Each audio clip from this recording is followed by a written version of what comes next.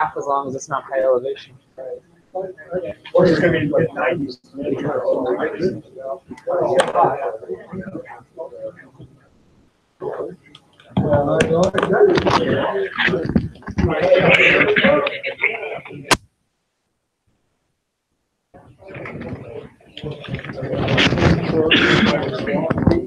I prefer hot field work over cold field work. Depends. How, well, how, I don't mind cold, but whatever. Right, that's really kind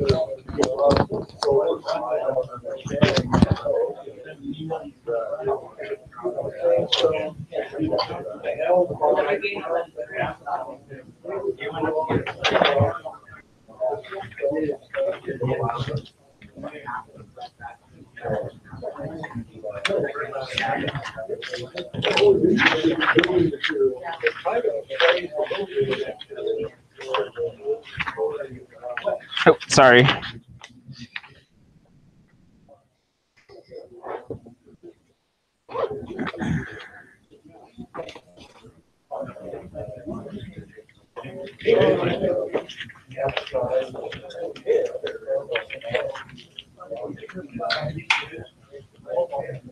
Did Zach put out a recycling today?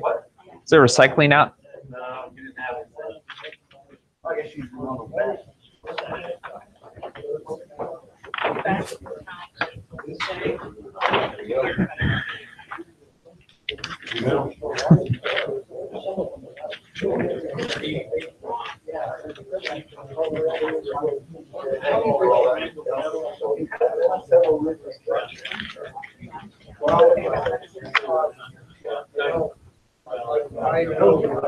The most impractical rock hammer ever.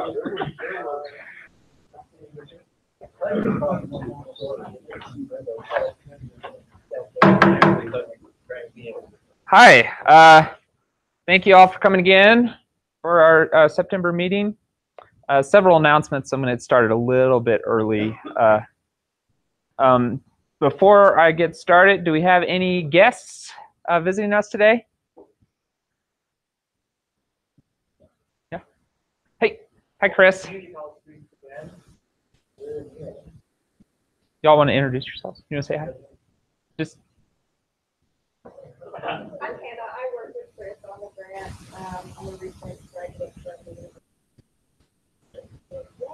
Great. Welcome. Are you a member? You should be one.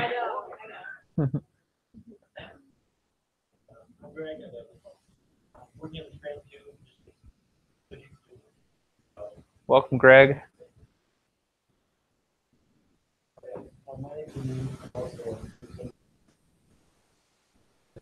Excellent. Great. You guys going to Indy, Indianapolis for the GSA meeting? Oh, great. Oh, great.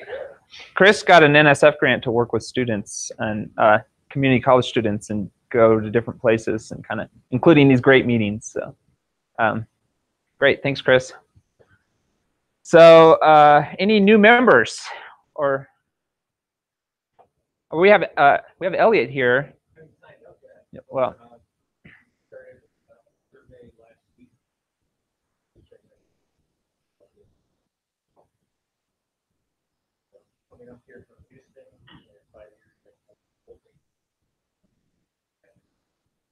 great. We're happy to have you. Thanks. And you're you're uh, replacing Craig, who just retired, right? Craig Morgan, our past one of our past presidents. So, um, Earth Science Week is coming up, and they are actively seeking volunteers. Um, if you are unaware of Earth Science Week, uh, it's something we hold here. Our uh, outreach group at the UGS puts it on, and um, they it's always nice to have different uh, volunteers come in and work with all the school groups and kids that uh, come through to learn about earth science. And we have a whole bunch of little booths and activities to do with the kids, gold panning. Uh, I don't think we have any gold in it, but there's pyrite. And uh, we have a stream table. Yeah, fool's gold. So all kinds of, and then dinosaur, and I think there's a rock talk. Um, so if, if you're interested, and I highly recommend it, I'll do. I'm, I'm I'll be doing it. Uh, contact Jim Davis, jmdavis at utah.gov. uh, he will help figure out what your schedule can allow for. So, also worth noting, uh, there's a John Wesley Powell uh, event coming up at the Natural History Museum of Utah up there on the um, in the foothills on September the 22nd, and they are uh, honoring the upcoming. I think it's 150th anniversary of the John Wesley Powell Colorado River exploration, the epic journey down the Colorado, mapping the geology and exploring the American West. Uh, U of U is putting on a lecture um, by Arlo Weil, I think his name is, on orogenic processes on September the 17th. Uh, so they, they put on a number of uh, guest lectures and stuff. It's it's worth keeping your eyes on on their um, lecture schedule because they have a number of good people speaking there. And then there's an upcoming AEG meeting this week on the 13th. Is anybody here with AEG? No. Uh, they have Dr. Uh, Rigby coming in to talk, and he's going to be talking about munitions of some type or another. I'm sure it's related to geology though. Um, so they're they're definitely worth. And then uh, one more thing on September the 29th, Brian McInerney is going to be talking about climate science at the downtown library, and he he came here and did a talk I think earlier this year. It was pretty good uh, on climate. He he works for the U.S. Weather Service, so his talks are usually pretty good. Great. Uh, as a reminder, I did put out a little bag for recycling your cans. If you can do that, please. Um, we usually have a bigger container, but we don't this time. Any, any other announcements that I'm missing? Oh, Adam, uh, could you talk about your uh, short course, your Bonneville? So, uh, hopefully your inbox has been filled with emails from me, hopefully not too many. Uh, the Lake Bonneville Geologic Conference in short course is up and running. We're going to schedule October third and sixth. The First few days will be a, um, geologic conference. Probably have thirty-five, thirty, someone there, and talks. I'll be here. know. Um, Jack Williams will be the top, you.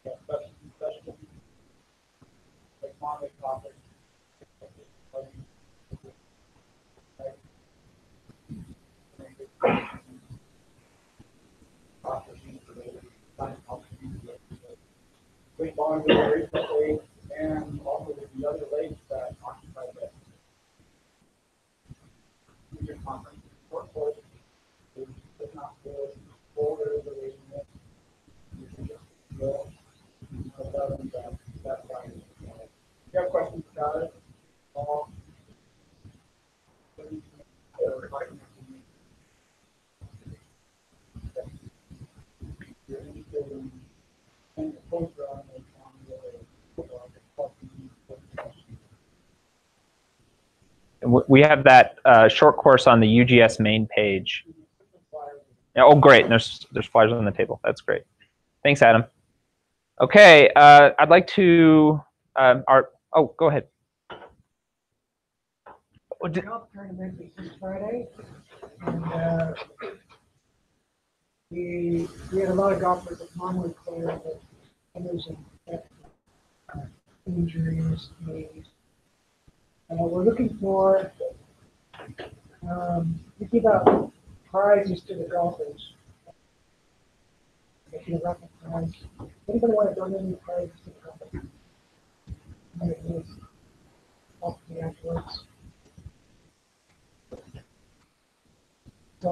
Oh, great. I meant to mention that. I thank you for reminding me. Um, yeah, the golf tournament this uh, this coming up, and it's it's benefited the uh, this organization quite a bit in the past. We take turns hosting it uh, between the various geologic organizations here. Who's hosting it this year? Um, Uh, the mining engineers are hosting it this year. Next year, we're supposed to, we're supposed to host it. We had such a poor turnout. I that- oh man, So I maybe I should pick up golf. I don't. You don't really have to know how to golf, just, just walk the course. but but the proceeds go to benefit you know our nonprofit and students of course so it's definitely a worthwhile endeavor we usually get pretty good sponsorship support. Um, so if you're interested in being a sponsor or a golfer in the future just keep in mind that's something we do every year. Usually we raise like, uh, thousand dollars. Uh, Just, just the whole, whole pond is like seven thousand, we get two thousand, but since we're not helping out. Yep. Yeah, we may be flush with cash this year because of the um, because of the recent meeting, but it's it's definitely important. It's uh, something that the board has discussed quite a bit is making sure we maintain uh, a balance between our our scholarship and what we're giving away and and um, what we're bringing in. So that's an important source of income for the UGA. Okay, uh, without further ado, I'd like to introduce um, Dr. Dennis Newell. Uh, he is the uh, head of the isotope lab up at USU, my alma mater, and uh, his his wife uh, Alexa Ault actually spoke earlier this year, and that, that whole family uh, presenting here. Uh, he got his PhD from the University of New Mexico. Um, he researches CO2-rich crustal fluids. He did his postdoc at Los Alamos National Lab and now now he's a uh, professor here at uh, USU. Did I leave anything out, Dennis? It's good. Great, thank you. Oh, it's for our online followers. This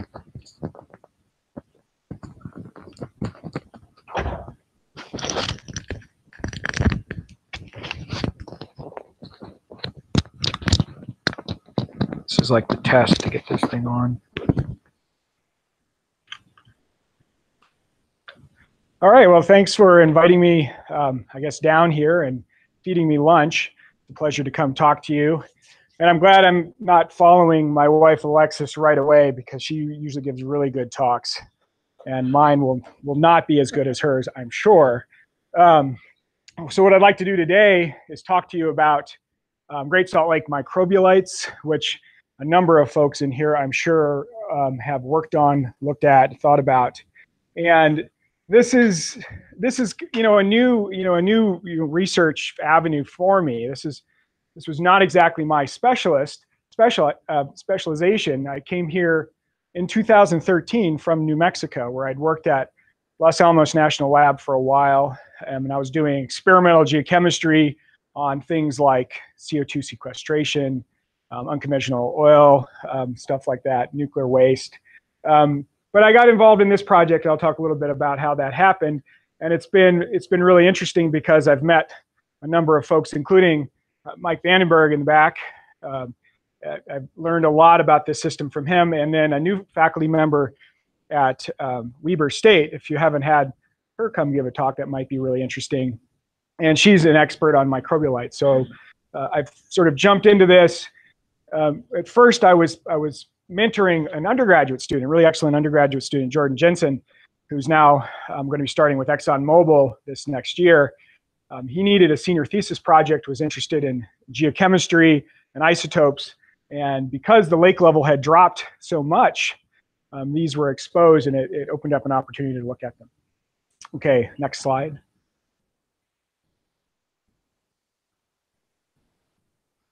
Cool. All right. So a little bit more about me, as as it was mentioned, um, I'm the director of the uh, Utah State uh, University Stable Isotope Lab, a lab that's pictured down here that's been growing over the last um, five years or so. And what am I? I'm I'm a I'm a geologist first by training and a geochemist. And during my my doctorate work, I really specialized in stable isotope geochemistry. But I am I am a geologist, and so all of the work that I do is pretty much founded in some sort of field work initially. And as you mentioned, I'm interested in crustal fluids. So here's my recent field season this last summer in, in Peru, in the Altiplano, where this is a bubbling hot spring, and I'm interested in the isotope geochemistry of those gases to give me the provenance of the volatiles like the carbon, where it's coming from. And so that theme takes me into really looking at stuff at Great Salt Lake too, water rock biosphere interactions, really trying to understand using isotope geochemistry what is going on in these geologic systems that we, we observe. And then just a, a plug for the lab. I know you've got excellent facilities here in Salt Lake City, but we're also a growing and um, we have more of maybe a personal touch um, in terms of um, if you have work that you want to do in the lab, you can contact me and I'll work with you pretty closely on getting stuff done. We can do oxygen, carbon, and, and, and um, hydrogen stable isotope ratios in water, um, oxygen, carbon, and, and all variety of carbonates. Um, we can do carbon, nitrogen, hydrogen, and oxygen in organic matter, including we have some work on tree rings that we're doing. I have a whole bunch of biologists that come in and want to do various bits of fish, you know, fish brains, fish scales, all kinds of things. And I'm also developing some techniques to look at hydrogen and hydrous minerals, such as like muscovite or biotite that might be growing, say, in a fault zone, or you have it in a xenolith that's transited from the mantle to the crust. So anyway, that's that's kind of what I do. Um, I'm an assistant professor. Hopefully, um, next time you see me, I'll be an associate professor. So, all right, next slide. Okay, so back to what I'm talking about today. So, you know, due to the historically low water levels, you know, these microbial deposits were exposed all around Great Salt Lake. And this is a photo um, at uh, Buffalo Point on Antelope Island. And again, how I got involved in this is I had a, an excellent undergrad student looking for a project. And there are a number of folks in our department of geology who are interested in a variety of things at Great Salt Lake and I'm, you know, kind of new, poking around, and they're like, well, you know, the lake is is really low, and we know these deposits are are exposed. You know, maybe there's something interesting about those. You know, people look at these in the marine systems, et cetera, et cetera. So I started doing some research on what you know what exactly is a microbialite. I mean, I know what a stromatolite is, but I really you know, this was kind of new to me, brand new to me, to understand what, what we could learn from these. And it turns out that you can learn quite a lot from them. And it rolled right into the kind of things that I'm interested in. Basically, using some sort of geological record that we can access today to say something about, you know, the processes and the water chemistry that were responsible for their formation. And this has led into all kinds of new questions and unknowns and whatnot. Thanks. Okay, so this is not good. These next couple slides are going to be completely review for most people in this room. There are a few students, so you know it's a good good teaching opportunity for me. Um, put us in a little perspective of where we're at. Again, I'm going to be talking about microbialites in Great Salt Lake, and of course, Great Salt Lake we is really you know I guess we'll call it. I get beat up sometimes. You know, use the word like remnant of Lake Bonneville or relic of Lake Bonneville Great Salt Lake is really in the, the cycle of big and small lakes that have happened throughout the, you know, the Pleistocene. You know, we have these pluvial or glacial periods that are wet, and we have large lakes all throughout the Great Basin, filling in these, you know, these low-lying flat areas. And then due to climatic shifts, you know, these shrink, and we get these smaller, isolated hypersaline lakes um, throughout. And this is just the latest cycle that that we're, we're sampling here. Next slide. And then, of course, the associated hydrograph. Um, I will say, and I've, I've learned a lot about this hydrograph, and there's there's lots and lots of data that goes into this. A lot of it is, you know, sort of geologic and geomorphic, you know, observations in the field that are coupled with a whole variety of geochronological techniques. I mean, a lot of a lot of radiocarbon dates. And this this part of the hydrograph is fairly well pinned with a lot of radiocarbon date. There's not that there isn't any uncertainty into it, but you know, we can say from you know 30,000 years ago till about you know 17 and a half, you know, Lake Bonneville with some fluctuations has was generally growing and becoming larger and larger. And then of course there's the you know catastrophic Bonneville flood out of the north end of the valley that I live in, which is an interesting story in itself, dropping things down to the, the Provo level that all of the Utah universities are built onto. And then due to climatic changes going into the dry parts of the of the, the Holocene, you know, we moved into the Great Salt Lake stages. Now, this part of the hydrograph is drawn in here with curves, but I've been reminded that this is not well constrained. We don't know a lot about this part of the hydrograph, And that is in part what makes it interesting to look at these microbialites because they are basically being exposed at these, these lake levels. And so I'm not going to be refining this hydrograph directly, but my hope is to understand something about how the chemistry of the lake has changed in this part of the history. Okay, all right, so Great Salt Lake microbialite. So microbialite is this general term that's sort of an accepted term to use for these carbonate deposits that are associated with some sort of microbial activity and microbial construction. So the microbes, the, the consortium of things like cyanobacteria and other primary producers, you know, are involved somehow in either nucleating carbonate or, or triggering the precipitation of that carbonate, and they grow in these environments. If they have a nice, you know, layered, you know, laminated look to them, we call them stromatolites. Um, if they don't, they have some other sort of texture, we call them thrombolites. But the over-encompassing term we use for these is microbialites. And Great Salt Lake has a lot of them. A lot of them, you know, all around the whole perimeter of the lake. In green here is, is where these um, are found. Uh, there's, you know, in the past, there's quotations like, it's the largest, you know, modern extent of microbialites on Earth. But of course, that would suggest that these are all actively growing microbialites, that they're, I won't say alive, that they're, they're, yeah, I guess I could say they're alive. They're alive. They, we look at them now, they've got some stuff on them, some, some biomass that's growing on them, some periphyton of some sort. But is that actually the consortium of organisms responsible for their growth? And were these all just sort of modern day things that we see, or they have a longer history? Um, there's all kinds of sizes and morphologies. Uh, Mike has, has shown me many locations around the lake, and he is really the expert on where to find these things and understand what they look like. Um, here's one that's you know fairly, fairly well lithified, that's exposed on the meter scale. There's some that are much smaller, much poor, more poorly lithified. Um, there's some that you know the the longshore wave action gives you sort of these linear linear features. Mike has found some up to I, I would say like three meters in diameter, so they can be quite large. Um, and you can you know see them in Google Earth imagery. Um, they're associated with all kinds of interesting features around the lake, and so it is really an interesting spot to to work. So why should we study these? Um, well, from my point of view, perhaps these are a proxy for lake biogeochemical and hydrological changes through time. I'm not the nearly the first person to say this. People have been looking at these types of deposits for literally decades throughout the world, just not at Great Salt Lake because they've been underwater. You know, so that has inhibited us being able to look at them.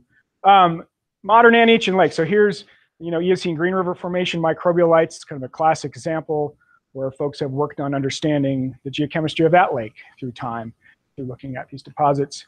Of course, microbialites are an excellent um, reservoir for petroleum. Some of the world's largest, you know, modern new uh, finds have been in um, marine microbialites. And so it calls into question, how do they grow? How do they preserve this porosity? Is it primary? Is it secondary? So there's, there's reasons to study these for, for analogs, for exploring for hydrocarbons. And then astrobiology. Stromatolites, you know, are some of the earliest sort of, you know, more complicated microbial communities on Earth. You know, we can push these back three plus billion years, maybe three and a half billion years we see things that look like these in the fossil record. And so it's a way to sort of understand life on Earth. And also, if you're going to say Mars and you have a rover driving around or some sort of drone and you're taking imagery and you can start imaging things that look like this, they may be biosignatures. They may or may not be biological, but it's a hint of where you might look. So, so this is their NASA is interested and NASA has been out to Great Salt Lake recently to to look at you know these types of things. Okay. So open research questions. Um, does microbialite carbonate and the organic matter that's trapped inside of these as they grow give us a record of lake composition and biogeochemical cycling? All right, so meaning, you know, are these things primary? Do they give us a primary record or have they been changed? You know, because if like anything geologically, if they've been altered considerably, then maybe the signal we're looking at is not primary and this leads us to understanding how old are these? You know, are they modern? If they're ancient, how ancient are they? When do they grow? Are they growing today? How do they grow? These are things that we don't necessarily understand, especially at Great Salt Lake. And so I'm just going to be touching on some of these things, not all of these things. Okay, so my approach, um, of course, rooted in going out and doing field work and understanding where these are, you know, and sampling these, is to use stable isotope geochemistry coupled with some geochronology to look at these and understand are they preserving a record of the lake? And if they are what can we say? You know again here's work from the 80s in kenya on a you know a carbonate type lake with microbialites growing. And this is you don't pay attention to the scale but these are carbon and oxygen stable isotopes and you note that they are varying together they are co-varying through time right? So that suggests to an isotope geochemist that something is going on that is affecting both isotope systems together. And so that might be tracking something in that lake that we can understand. We might be able to use that as a proxy for the composition of the water or some process, including like transgressions and regressions will change the water chemistry. What is the source of water coming into the lake and helping these things grow? Is it lake water? Is it groundwater? Um, stuff I won't get into in detail today, but nutrient cycling, you know, the consortium of organisms that's living in the lake, are they fixing nitrogen? Are they somewhere else in the nitrogen cycle? Do we have, you know, evidence for big boosts in primary production like we see in some places like Utah Lake, right, where we get these algal blooms and then you have die-offs? Do we have evidence for stuff like that uh, being preserved in these? and then geochronology on these can be a challenge, right? So we're dealing with carbonates in a carbonate lake. So right away, anybody who's works with radiocarbon is thinking, well, there might be a problem there. We might have something called a reservoir effect, where we have long residence time dead carbon in there that's affecting our ratios. Or perhaps we don't. Perhaps the residence time of carbon is short enough at certain times that those ages are okay. But how do you figure that out? Well, one way is to date multiple things, you know, to double or triple date to see if you get consistent ages. Um, I'm working on this approach, right? Today, I'll only show you some ages from organic matter and these things. Okay. All right, so study locations. So again, um, they're located all around the lake, and Mike is working in many, many locations. I've been to a few of these, and I have samples and data from where the stars are. Um, today, I'll be primarily presenting data from some microbialites here at Buffalo Point and Antelope Island. Um, I have a lakeside sample from, from Mike that I've done a little bit of work on, and we also have one from the North Arm. All right, so these come in all shapes and sizes, and I did mention a little bit the definition of microbialite and then stromatolite versus thrombolite. So here we've I've, I've sectioned a number of different ones and if it was a true stromatolite, you would see this beautiful sort of concentric lamination that really looks like tree rings or it looks like a stalactite when you cut it in half and you see these nice bands. Most of these don't show much of that. You know, you see some like here, and this is the one from the North Arm. You see, you know, some of this sort of banding here. This has a really coarse, if you kind of squint at it, you know, there's kind of a coarse banding to it. This one here has this sort of punky porous core, and then you have some denser stuff with a little bit of banding around it.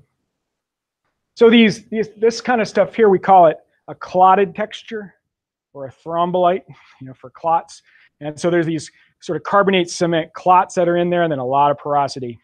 And these things have, you know, I mean, it's carbonate that's growing. So it's trapping and binding anything that's there. All right, so there might be the primary carbonate that's actually gluing things together, but then the lake is full of pellets from brine shrimp. There's there's brine fly casings. There's lithic fragments. You know, there's ooids, and all of those types of things are getting incorporated into this. All right, so when you go in and decide that you're going to subsample or work on it, you have all of those things there, and you have to be smart about you know, if you have a student that you say, here's a Dremel tool, go sample this, you need to train them on what they need to go in and subsample. Otherwise, you can get, you know, a piece of Cambrian limestone, you know, which is not going to be what you want to measure, right? So um, back one, that's okay. I'm going to bring this up. This is foreshadowing. Um, there's also, you know, some things that show these finely laminated carbonates kind of swirling through here around this other stuff. I'll bring that up later. Um, these here, are the reason I show them is it, it's this carbonate, this laminated carbonate, it's not kind of encompassing something like it was like an outer growth rim. It's actually cross-cutting it. It's coming up through them. So it looks like there's channels of fluid moving up through some of these, and then there's lamin tightly laminated carbonates associated with those. So that's something we're kind of interested in, is what is that, what's causing that morphology, and is it a hint for how these are, are growing? Okay, now you go. Zooming in a little bit, I mentioned that it's important to know what you're sampling, and we want to understand whether or not the uh, isotope signals that we get are, are primary or secondary. And so we have to go in and do, you know, SEM work, um, you know, just observation work, thin section work to see if you've precipitated new stuff, if you've dissolved stuff out. Is it made of something you shouldn't be sampling at all? So here's, uh, you know, sort of two millimeters, sort of thin section scale, and then SE image on a scanning electron microscope um, of some part of this microbialite over here. And we see we have all these sort of acicular aragonite grains that are all tightly grown in there. You also see these weird, I don't know quite how to describe them, but they're, you know, they're submicron scale little bulbous mats of carbonate. It's all carbonate, you know. And so that almost gives you the impression, some people would say, oh, that looks biogenic. I don't know. Um, but, you know, you're getting these little microspheres, nanospheres of carbonate that are growing in here. So I look at a texture like this, it's pretty, you know, indicative of something that hasn't seen a whole lot of like dis dissolution and secondary precipitation of something else. Um, so if I can sample areas like this, I'm going to get you know better data than other locations like the next slide. So there's also a lot of this stuff here, which is poop, right? So these are brine shrimp uh, pellets, and this is a pellet here, the pellet core, and this is again an SE image, and the edge of it, it has these fine little laminations. So there's kind of this carbonate incrustation of the pellet. So they're getting trapped in these microbialites and then they're getting coated in carbonate, right? Um, but if you were to go in and basically sample a whole lot of this stuff, yeah, you're probably going to get this carbonate signal, but we don't really know when it formed. Um, and then the organic matter is going to be telling you something about the brine shrimp poop, not necessarily about the microbes that are living in there. So you got to be careful on these things. Okay. Um, all right. So I am going to present some data and it's going to be stable isotope data. So here's just a kind of a quick primer on what this means. All right, so all of the numbers I show are going to use standard, what we say delta notation, right? So we would say this is the delta 13C. And so what that is, is it's related to the way we measure the isotopes, the reason this exists. It's much, much easier and more precise to measure isotope ratios than absolute isotope abundances. So we don't collect carbon 13 in a cup and carbon 12 in a cup and then get the ratio. We measure, we measure, you know, compounds with a certain signal and a certain ratio of carbon 13 and carbon 12 to a standard. So this is all basically measured relative to a standard. That way we can compare it internationally from lab to lab around the world. And so this all kind of came out of the early 50s when this this technique came about, and now we have these international standards that everybody uses. And the and the standard is that we you know ratio the common, I mean the heavy rare to the common. So for carbon, like one percent of carbon 13, one percent of carbon is 13, and 98.9 is 12. And so that we do that ratio to a standard, we multiply it times a thousand, so it's a nice round number, and then it's in per mil notation. Note that carbon 14 isn't here. These are stable isotopes, so we're not considering radiogenic carbon in this case. Um, other ones that we'll talk about here are delta um, deuterium and then delta 18O. All right, so the plots I show for these will be, you know, delta 18O and delta 13C in per mil. These are relative to PDB. And so what do these numbers mean? before we even talk about anything here, what do these numbers mean? Again, they are relative to an international standard. They're useful for comparisons from place to place to place. So if we go out and we measure, say, oh, you know, average limestone, we measure organic matter, we measure CO2 coming from the mantle, we measure all these different things, we can get signatures. They can be used as fingerprinting, as tracers, so we can understand where things are coming from, or processes. You know, we can mix one water with another water, and we're going to get isotope mixing. We could have we could have degassing, we could have kinetic processes, these processes, biological processes that change, systematically change those isotopes. So that's why we use these. They're, they're numbers that you know, intrinsically don't mean anything because they're just ratios. What we want to do is compare them to other known ratios from other things and then see what kind of patterns we have. And that's how we use them.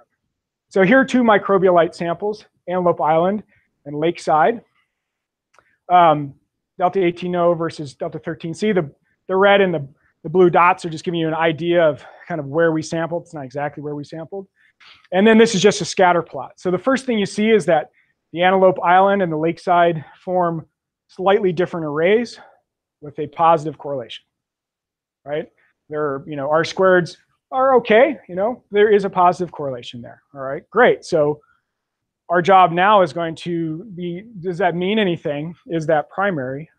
Um, for, rep, for reference, here are ooids that are shoaling around, you know, presumably close to modern, you know, whatever that means, along the lakeshore, and that's where they form. But they could be older ones that are reworked and rolling around.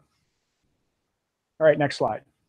So people have worked on this in closed basin lakes, and Great Salt Lake certainly is a closed basin lake, so we should hope that it behaves like one. And Talbot has a nice paper from 1990 where they've looked at carbonate from closed basin lakes all over the world, looking at lake core carbonates, like you drill down and you get nice laminated lake core, or you grab microbialites. Great Salt Lake actually is in the legend here, so there's some Great Salt Lake data in there. And they see this positive correlation. And that's because whatever is affecting oxygen isotopes is also affecting the carbon isotopes. So if we think about it in a simplistic way, you have a lake level at a certain level, and we have you know the mix of hydrologic system, you know, delivering groundwater and surface water to that lake, precipitation, and whatever those ratios are, you know, they're representative of what's coming out of the basin. The carbon is representative of what's coming out of the basin and what's being consumed in the lake. And then you go through a period of change. Let's say we fill that lake or we shrink that lake. If we fill that lake, that means things are getting wetter, we're adding water to the system, we're perturbing that balance in that closed basin lake, and likely the water that's coming in is what we call meteoric. So it's from the mountains, it's snow melt, it's rainwater, and in general, those isotope ratios will be lower than whatever's in the lake. So then we would expect that ratio to go down. So we would have a downward trend, those ratios. Corollary to that is the lake is drying up and it's evaporating, which is certainly what we see in Great Salt Lake. When we evaporate, the light isotopes, like oxygen 16, will leave the water preferentially to the heavier isotopes. Heavier isotopes stay behind. So the num the ratio gets higher and higher and higher in the lake. So if we have a drying period, we'd expect the isotope ratios to get higher. So you might look at a trend like this and suggest that that's what's happening in that system, that we're looking at periods of time when the lake level was relatively higher or relatively lower. That's a simplistic view of that because there's a lot of other things that go into it, but we can kind of work with that. And you can get in, I won't get into it, but you can get into, you know, mixing in lakes. Are you, are you in a, a shallow lake that's overturning a lot and are you stirring up the buried carbon and consuming it? Or are you in a, in a seasonal overturn, meromixis sort of situation where you have bursts of primary production at certain times of the year that affect your carbon isotopes. So you can learn a lot um, from what's going on in a lake looking at these. Okay. So here's a smattering of data from Great Salt Lake from a variety of different deposits. Um, this array here with the black squares is that Antelope Island microbialite that I already showed. The red one here is the lakeside one.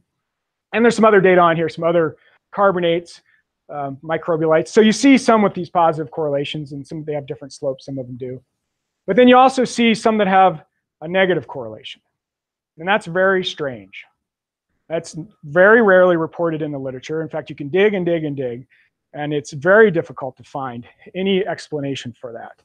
Um, so I'm struggling with an explanation. I have an explanation for it, whether or not it's a good one or not, I don't know. Um, but for, for reference, I've kind of put the modern lake water. Now, this down here is not the carbonate. This is the modern lake today, or at least over several years. Kind of wet season, dry season, you know, sort of late August, you know, April, you know, different, you get different end members, and you also get this negative correlation. So I'm attributing this to, you know, we're bringing in fresh water. Fresh water brings in nutrients in the spring, we get bursts and boosts in primary production in that point in time. That's going to cycle carbon faster. That's going to drive the carbon isotopes up. Meanwhile, the oxygen isotopes are going down because you're bringing in fresh water. That could explain a negative correlation. The other thing that's important about this is we want to evaluate whether or not the deposits that we look at today are precipitating from today's lake water or not. One test is to ask if they're in isotopic equilibrium. There's all these equations that have been empirically determined that, you know, are the basically the oxygen isotope thermometer for carbonate. So if you know the water and you know the carbonate, you can figure out the temperature.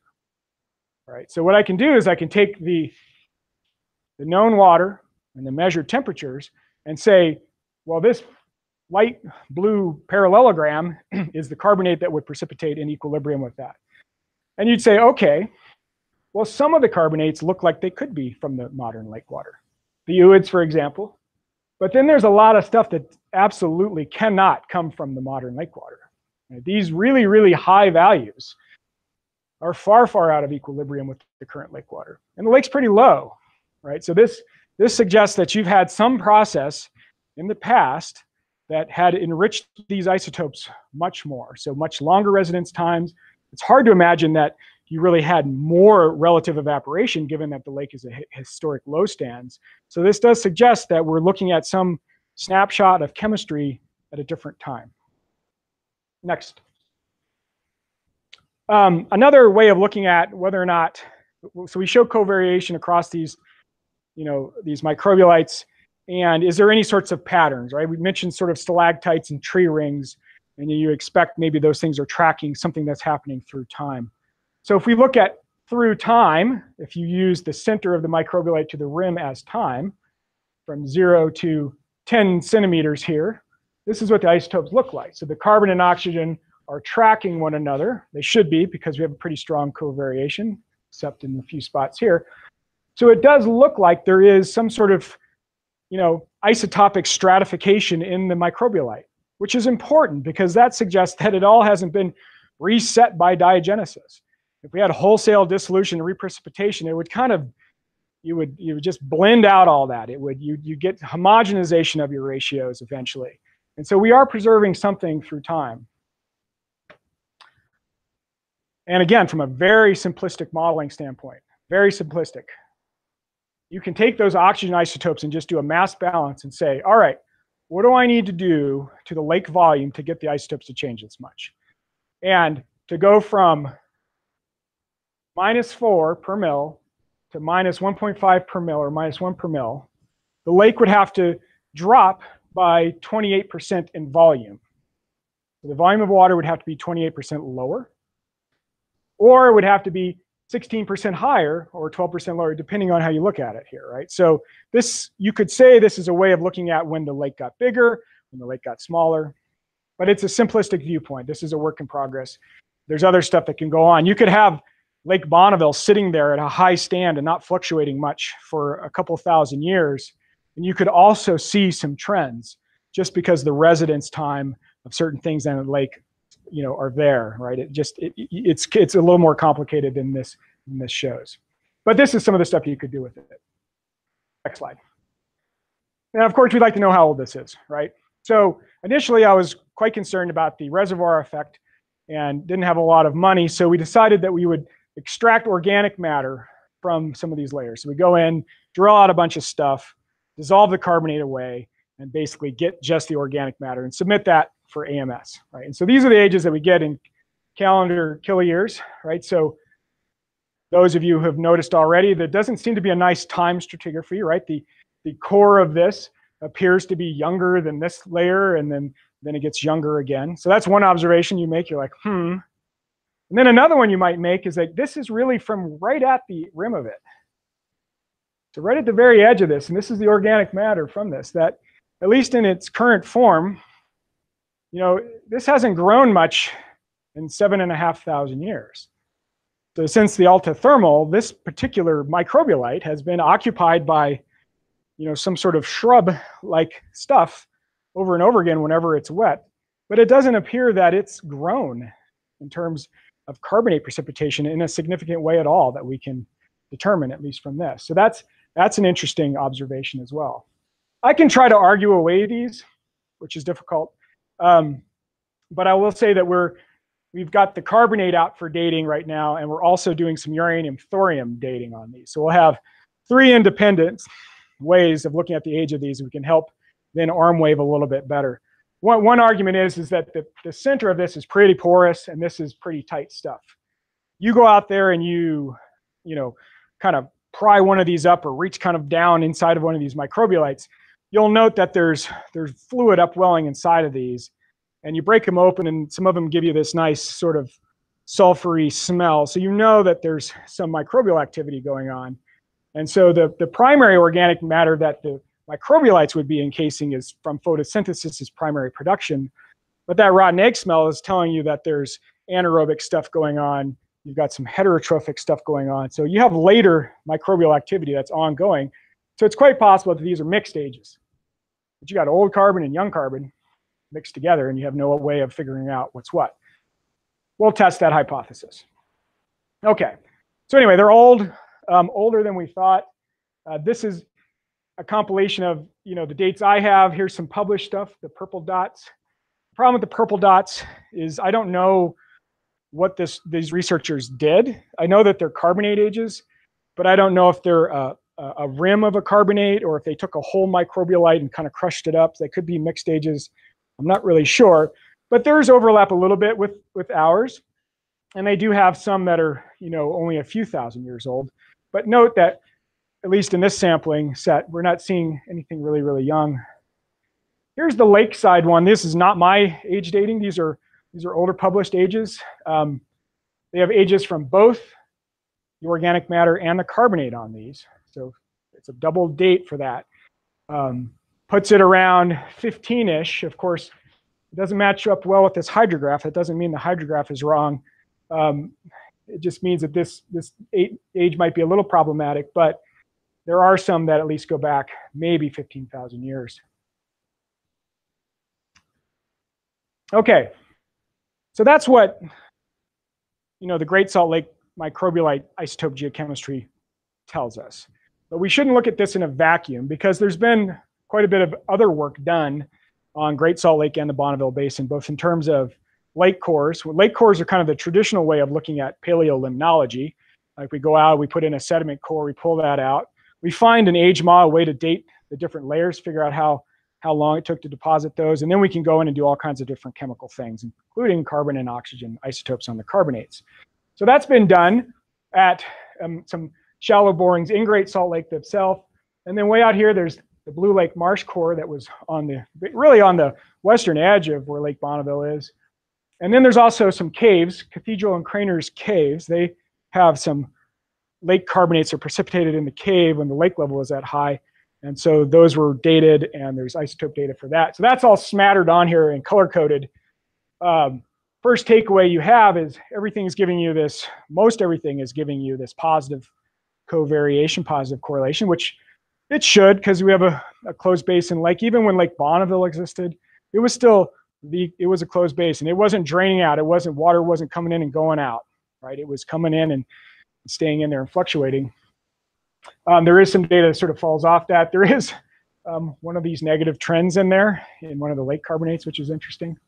Um, and down here, I have this sort of hydrograph with some color bars on here that are coded to these different colors up here. And so what I'm going to do is I'm going to show one graph that is pre-flood and one graph that is post-flood, just as a, a, bit of an arbitrary way to look at two state, you know, two snapshots, long snapshots of the lake.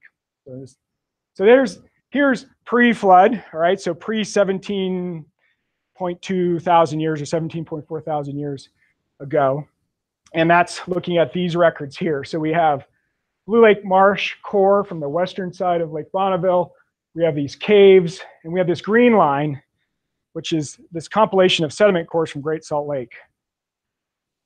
This is this record here, the isotope data is good, but I don't have good age data from that. It's basically from about 30,000 years to modern, but I have no idea what goes with what. So I'm just putting the whole record on there. This is sort of a great salt rate record that probably is pre and post flood. But you see a nice positive correlation, Lake Bonneville time.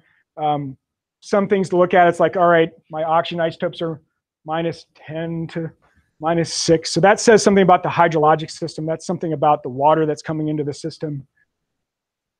These are the cave deposits. Um, they both show the same uh, slope and the same oxygen isotopes, slightly different carbon. That's because one set of them is aragonite and one set of them is calcite. And there's just a different fractionation factor for carbon for those. They're essentially giving you the same story. And it has a slightly lower slope and you're a slightly more enriched than this um, Blue Lake Marsh um, core. All right, let's step forward. Okay, then when we go post-flood, what we see is that records start to deviate. All right, so we had this nice sort of story, and now we're starting to see, you know, out at Blue Lake Marsh, we have, you know, for a while we have kind of the same trend, and then it then it steps out this way, and then it just goes to noise. So what happens there is Lake Bonneville is shrinking and eventually it becomes it's no longer a lake and it's just sort of this wetland. And now we're no longer getting any covariability in those. You're just getting noise in that carbonate record. There's different things affecting the carbon that are affecting the oxygen. So you see the western part of it hydrologically being separated and then becoming not a lake. And then Great Salt Lake um, forms and you get these isotopes that are stepped out over here, much more, to use a jargon term, enriched or heavy as we get this evaporative lake um, in the in the Holocene. So this this just snapshot of a few data sets shows that as maybe as we would expect, as these big pluvial lakes shrink, they become you know sort of segmented, isolated subbasins, and that those are then going to evolve somewhat chemically distinctly from one another. And we know this from classic work done on Great Basin lakes that you can start with very subtly different water chemistries and then evolve to very like Mono Lake versus Great Salt Lake, for example. Very different end members of chemistry, but we all started with some big pluvial lake at some point in time. So I think this is pretty interesting. Right, Lex.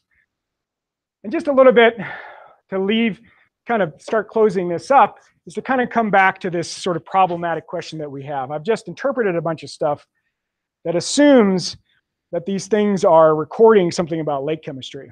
Well, we still don't know exactly how they form. So this is from my, you know, intro geochemistry stuff, right? Here's just a, an equation you can write for the precipitation and or dissolution of calcite, right? So if we're going to think about equilibrium chemistry, we can perturb this. And, you know, there's no biological thing in this yet, but biology can affect some of those parameters. If we look at the current lake water and just kind of do some modeling to it, it's undersaturated with respect to calcite. So it's not going to precipitate carbonate readily. It's just not. Carbon is cycling through that lake pretty fast, which I think is important for considering the reservoir effect. It may not be that large because the CO2 that's dissolving in is rapidly cycling through that system. So we're not building up a lot of bicarbonate in this lake. Photosynthesis, when forming, you know, if you have a, a cyanobacteria consortium of microbes, if they're photosynthesizing, they can alter that local geochemistry to favor calcite precipitation. If they're using the inorganic carbon or the CO2 to make biomass, they're going to basically take this out. And if you remember Le Chatelier's principle and your little teeter-totter, if you move that, you need to go that direction to balance that out. And you're gonna, you may precipitate carbonate. That would also affect the local pH. That would be a little local story. Local, it's just around where that activity is going on. There's also the possibility that the microbes themselves are actively precipit uh, participating in the, partic in the precipitation, say that, of the carbonate within their cellular structure. This is stuff I don't understand, but Bonnie's here and she can tell us about this. And of course, we don't know which microbes necessarily do this, and, and we're not sure when this happens because the age of some of these suggests that this hasn't happened in a while. Another possibility is since the, you know, this is under saturated with respect to calcite, we could also add calcium or add bicarbonate to that water chemistry. You could just take a beaker of it and start adding calcium in solution. Eventually, you could precipitate calcite. So perhaps that's coming in from groundwater, which is the next slide. So again, we're back to this laminated carbonate structures that we see in a lot of these microbialites that are vertical or subvertical. And then here's that ladyfinger point. There's a microbialite at the surface and there's a spring. that's there. The water is fresher than the lake. It's really salty, but it's about half as salty as the lake. And it, its isotopes are way different than the lake. So that spring water there on a standard meteoric water plot of hydrogen isotopes against oxygen isotopes. The blue line and the green line is what all of your rain and surface and shallow groundwater should look like, you know, worldwide. And so we're plotting right on what our local meteoric water line would look like. So if you looked at Bear River water drainage coming out of the Wasatch, it would probably be around here somewhere. So that spring water that's coming up through this microbialite that's half as salty as the lake is primarily meteoric water. Our colleague Carrie France has put in a bunch of shallow, just like meter deep, shallow piezometer type wells, you know, out at um, Ladyfinger Point area, uh, Antelope Island. And this is groundwater, but it falls on a mixing trend between lake water. This is lake water measurements I've made. And so you could suggest that this groundwater is a mixture of lake water and other deeper groundwater. This is not shocking news, but it suggests that you know near the shore of the lake, you have two of these, both of these systems existing. And so perhaps there is something to the hypothesis that upwelling waters is contributing to the formation of these microbialites.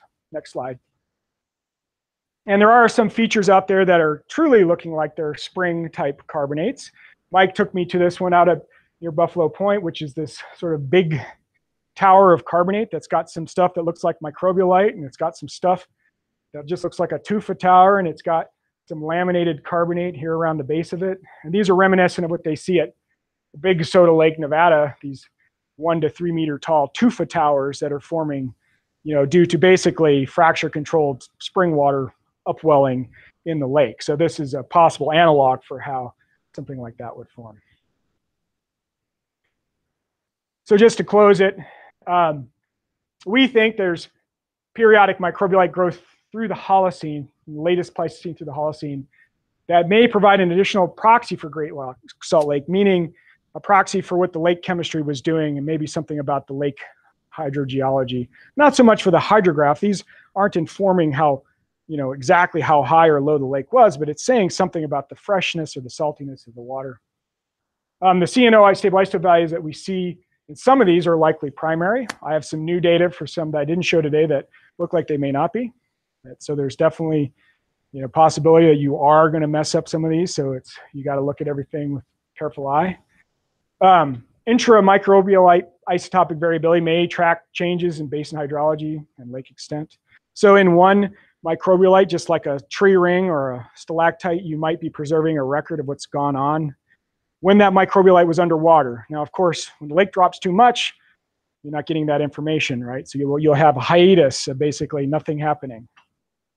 And of course, if the lake gets too deep, that's going to shut off the microbialite microbial activity and then maybe switch to some sort of other carbonate precipitation activity. Um, looking more broadly, we think, of course, that the isotope data supports the idea that Bonneville divided into iso uh, isolated subbasins as things sort of got lower and drier. And we're going to continue to work on this to try to understand um, the linkage between the geochemistry and the geochronology and try to answer some of these questions on how these form so that we can better understand the record. And then I'll just acknowledge um, Antelope Island State Park for permitting um, our sampling and that of my undergraduate student, funding from the university in different sources, and then our microscopy core facility for helping with imaging these. Thanks.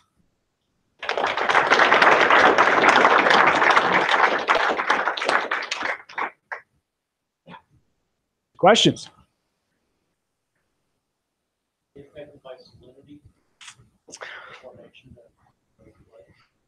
Well, Bonnie could help answer that question.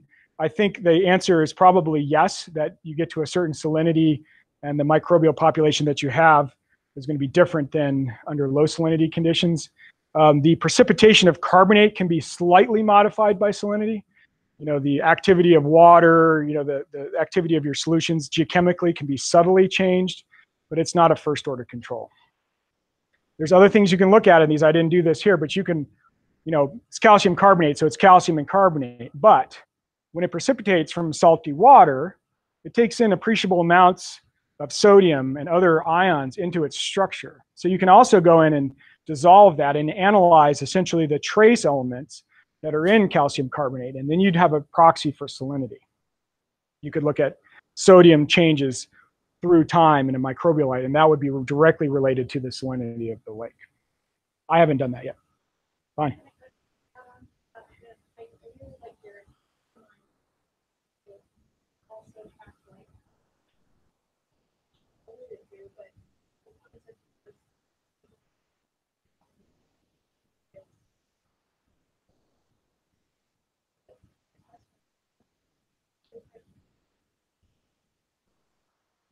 but could be that sort of like level or like not like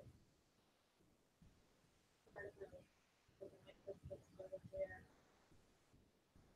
long as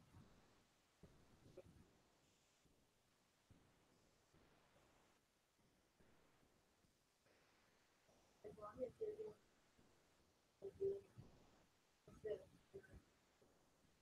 Right.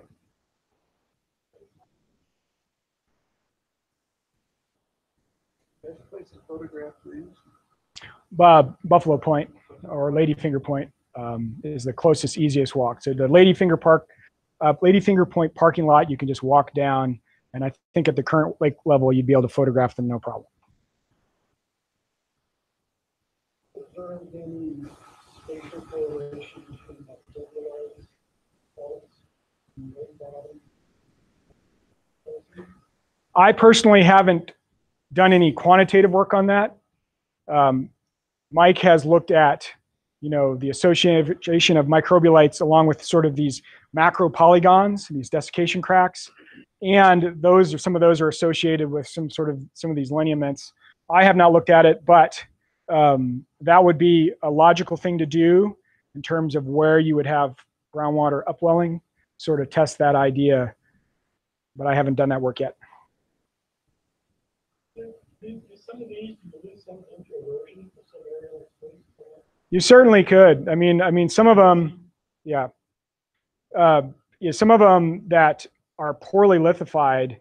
You know, they're these cowpie structures as they've been described because they're kind of hollow on the inside, and once the lake level drops, they kind of collapse on themselves.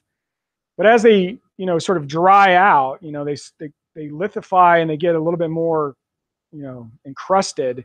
They become more resistant at that point in time, and so you could imagine that they're a little less you know, subject to weathering at that point in time. Of course, then they could get buried by sediment too. So, you know, you, if your lake level comes up high, you could inundate these things and that could sort of shut off activity. So you would expect in the chronology, if you had a nice detailed chronology, that you should have unconformities. Definitely should have unconformities that would be defined by doing careful, you know, geochron work, but that would take a lot of, you know, a lot of work. And the first thing we need to do is understand which system gives us the best idea of what's going on. All of them are pretty old. You want to look at- I mean, in terms of their growth, they actually start at the very latest Pleistocene, Holocene, and go on from there. the ones we've looked at so far, the ones that other people have dated so far, all seem to be old. Old, you know, old being Holocene old, um, not geologically old. But they're. It is curious that you know all the components seem to be there today for microbialite growth. My the, what I've heard from a lot of some of the microbiologists is the the organisms are there that could do this.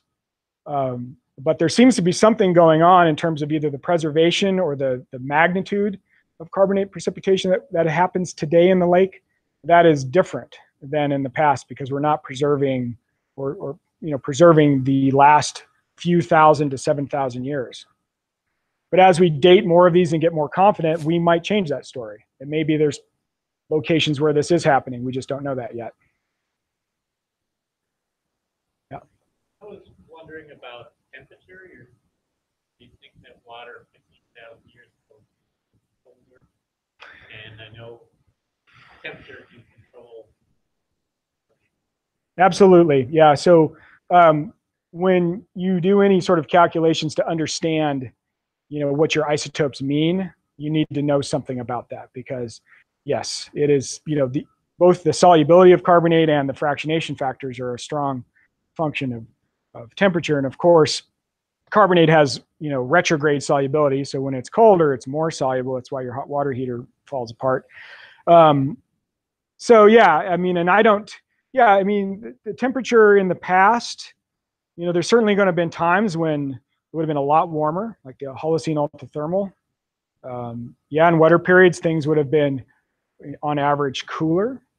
Uh, but we do have cold conditions now at times in the lake, right? We have, you know, the water gets down to, you know, 10C or 8C or something in the winter. It doesn't freeze, but we have cold conditions now. So we have kind of a full range.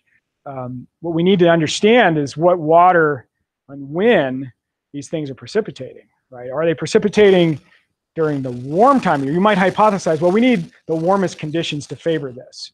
So in midsummer or something is when that's happening. So we need to understand today what's going on, and then we can better arm wave about, you know, in the past, because we do know that, you know, there's Lake Bonneville shoreline tufas all over the place. So at much higher, much cooler conditions, we were in the swash zone precipitating carbonates and some of them pretty thick. Oh yeah.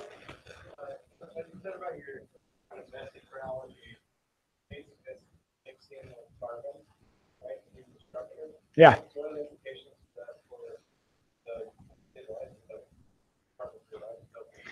So um, that was from organic matter. So if I was looking at the organic matter carbon stable isotopes, it would also be a mixed signal. For the carbonate stable isotopes, it's probably a little bit different um, unless you're actually precipitating, you know, more carbonate later. And of course, that would be a mix mixing as well. It's a little easier to evaluate carbonates via thin sections and SEM. You can look at dissolution textures, et cetera, et cetera. In terms of organic matter, it's much more difficult. You know, you're basically extracting, you know, several milligrams of organic matter from quite a bit of carbonate, and you have no idea its origin. At least I don't, by looking at it in the bottom beaker. So that's that's much more difficult. So I think through again, I think that's why we need to couple, you know, multiple geochron methods with the isotope geochemistry to understand, you know, how robust these values are. Because if they're all mixed, that's a big problem. We can't say a whole lot.